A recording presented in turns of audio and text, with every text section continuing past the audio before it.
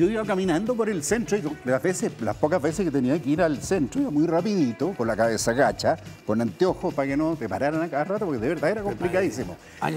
y estaba el café Jamaica en la esquina de Huérfano con Estado, me parece que era. Y eh, él salió, Víctor salió a, la, calle y, me paró. Me dijo, no, yo quería conocerte, qué sé yo. Y me empezó a preguntar de esta misma situación. ¿Y cómo lo hacía, con tanta euforia que hay eh, tras tuyo. Fue muy simpático, muy buena onda, muy, muy gentil.